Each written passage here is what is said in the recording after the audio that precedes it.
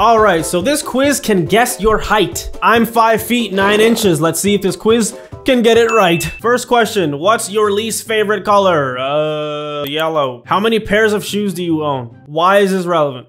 Which of these smells is the best smell? Freshly ground coffee, rain, fresh bread, gasoline, baked cookies, ocean breeze. I'm gonna go with. I'm gonna go with uh, baked cookies. Yes, yes, yes. What's the first vowel in your last name? Okay, this is starting to make zero sense.